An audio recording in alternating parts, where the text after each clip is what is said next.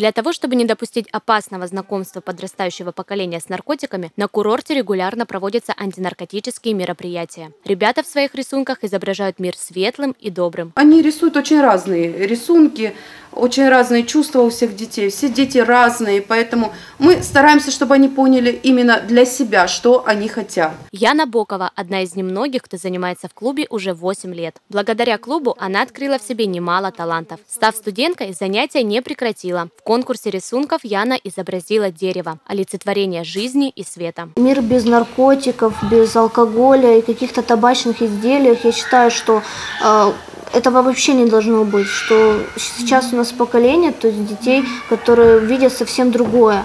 Им нужно показывать именно вот эти вот рисунки, какие-то конкурсы. И для меня это вообще очень приятно, что люди занимаются этим. свои маленькие шедевры ребята вкладывали заветную мечту – видеть мир без наркотиков и вредных привычек. Во многом это зависит от взрослых, с которых малыши и берут пример.